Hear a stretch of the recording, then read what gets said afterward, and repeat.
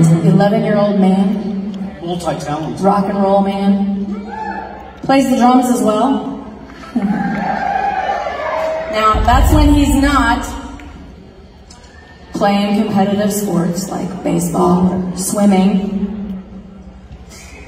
And uh, I think you're uh, getting ready to start some junior high there, aren't you? All the girls. All the girls. Well, he's going to join us for a little Pat Benatar song, so everybody give him a warm welcome.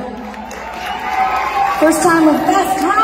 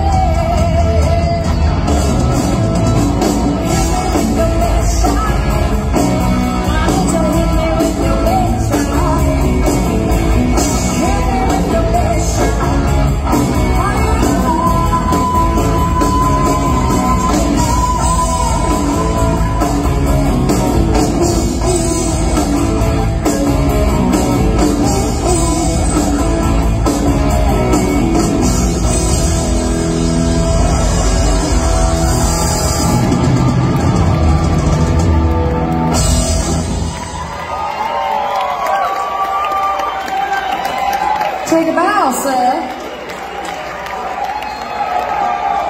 You should come out here for just a quick second. I, I couldn't do that when I was 11. I can't do that now. KJ, that was awesome, my man. You can be sure and catch him around town because you play at Knuckleheads, you play at Power and Light sometimes, and you do Jerry's Jerry's Jam Night. Sometimes Jerry's Bait Shop in Lenexa. Give it up for KJ Yeah, I'm not Japanese doing the Jerry's thing, because he's got a great fake ID.